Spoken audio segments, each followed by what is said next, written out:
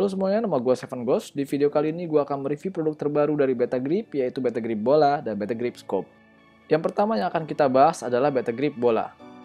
Beta Grip Bola dikhususkan untuk game-game sport yang fungsinya untuk meningkatkan pergerakan player dalam bermain game.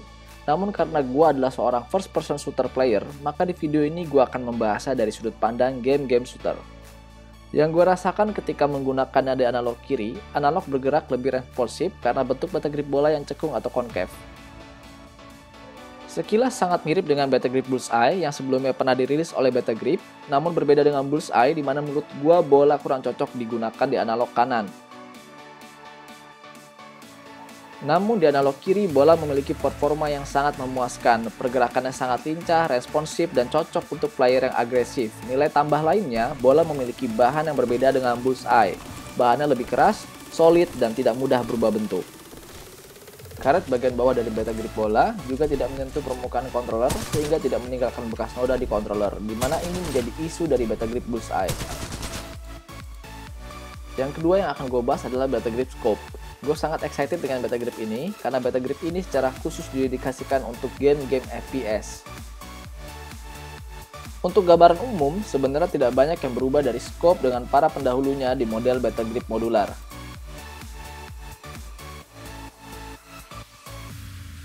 Memiliki tinggi dan bahan dengan kualitas yang sama dengan Sparta MX, dan sekelas memang nampak sama persis, yang membedakan hanyalah warna dan tekstur dari gripnya itu sendiri. Teksturnya kini lebih smooth sehingga pergerakan analog atau aim akan lebih terkontrol. Untuk lebih jelasnya, gue akan menunjukkan di video berikut ini. Di video pertama ini, gue menggunakan analog standar pada DS4. Pergerakan analog tidak terkontrol dan menyebabkan akurasi gue menurun jauh. Kemudian, di video kedua ini, gue menggunakan Beta Grip Sparta MX. Akurasi dan respon time meningkat, namun aim masih kurang terkontrol.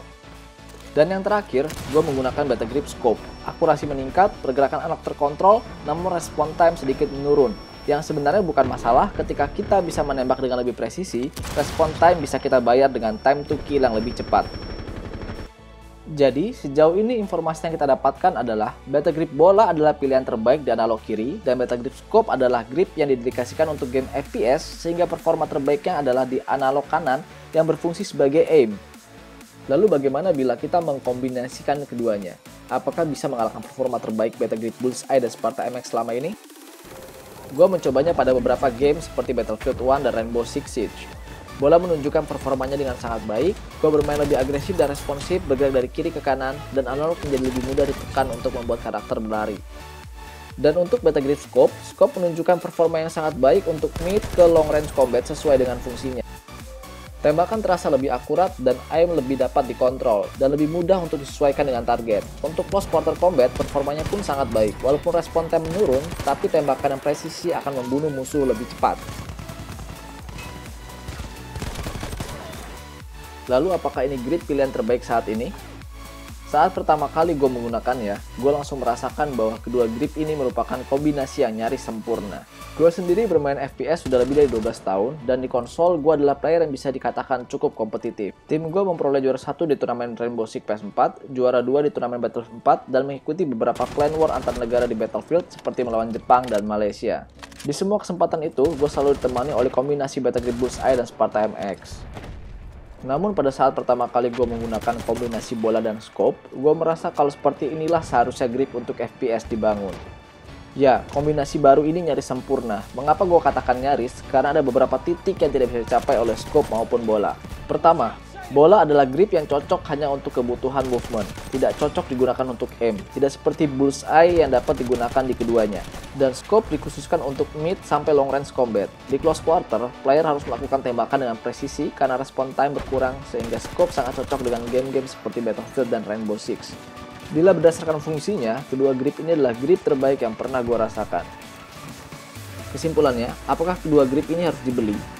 Gue sangat merekomendasikan menggunakan scope untuk game FPS, karena grip ini khusus dibangun untuk para gamer kompetitif yang menyukai FPS, dan untuk beta grip bola merupakan alternatif dari bullseye yang memang lebih unggul di analog kiri.